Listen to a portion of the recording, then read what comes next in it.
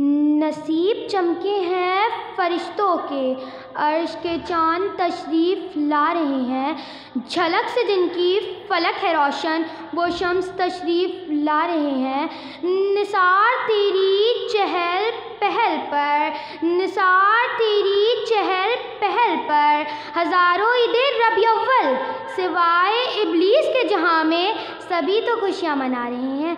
जनाब सदर और मेरे अज़ीज़ साथियों, हर तरफ़ अंधेरे का राज था जहालत का दौर दौरा था। मुनाफिकत थी, शराब पानी की तरह पी जाती थी। मासूम बेटी को पैदा होते ही ज़िंदा दरगोर कर दिया जाता था।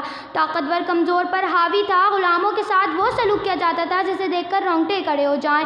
हती के जानवर भी इस दौर के इंसान के जुल्म का निशाना बना हुआ था। जनाब सदर के फिर ऐसे में इस अंधेरे को दूर करने के लिए नूर मुजस्म तशरीफ़ लाए।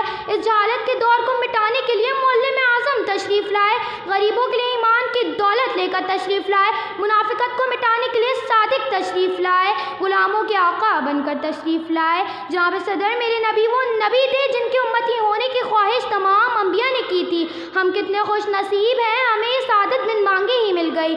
मेरे नबी तो बादशाही में भी फ़कीरी करा करते थे, जिनके पास न सोना था, न चांदी थी। मेरे सरकार तो टूटी चटाई पर भी सुल्तान नज़र आया करते थे। जनाब सदर मेरे नबी की निगाहों पर तबस्सुम और चेहरे पर नूर था। मेरे सरकार तो सादा लिबास में भी निशान नज़र आया करते थे। मेरे इस नबी का अखलाक ऐसा कि पत्थर भी कलमा पढ़ के मुसलमान हो जाए। मेरे नबी की सीरत बेमिसाल थी, हुसन बामिसाल था और किरदार ऐसा कि काफिर भी फिदा हो जाए। तो फिर मैं ये क्यों ना कहूँ, हुजूर आए तो अंधेरों से निकल कर दुनिया उजाले में आई। हुजूर आए तो अंधेरों से निकलकर दुनिया उजाले में आई। सुते जहनों से रंग उतरा, बुझे चेहरों पर नूर आया। हुजूर आए तो लोगों को जीने का शूर आया।